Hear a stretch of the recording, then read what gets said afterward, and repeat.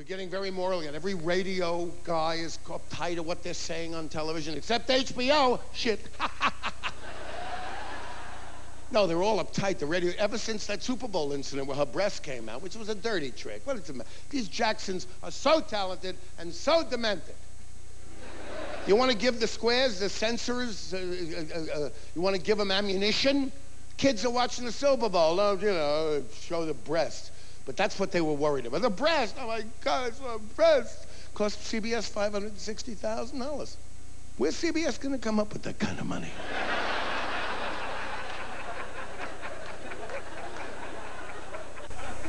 the breast is what bothered them, right? Didn't bother them that the song being sung was about sexual assault. That was, I'm gonna get you naked by the end of this song, bitch. Give me that thing, bitch. Pointing at the genitals. Always, always pointing. Always pointing at the genitals. The one place everyone knows the location of. What is this? Justin, what's his name? Timberland? Justin Timberland? Which is the moccasin and which is the singer? I forget which. But there's Justin, whatever his name is, Timberlake. He's singing a song and pointing the genitals. And what is he pointing the genitals? So he knows where his genitals. If this idiot could find New Zealand on a map, I'd fall off a chair.